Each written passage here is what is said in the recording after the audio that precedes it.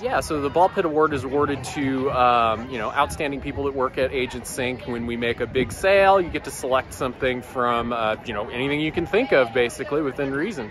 Um, and so I picked uh, an entry into the Dragon Boat race at the festival this year. Uh, Dragon Boat racing is awesome because it gets a large group of people together and gets everybody like trying to coordinate and work together. And there's a competitive aspect where we're work, racing against other companies that are out here doing the same thing. It's an awesome team building opportunity, um, and it's just a ton of fun.